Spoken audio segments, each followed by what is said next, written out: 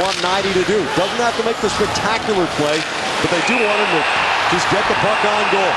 Well, this we saw coming. Shawn Thornton and Wade Brookbank. Brookbank had seven games for the Bruins.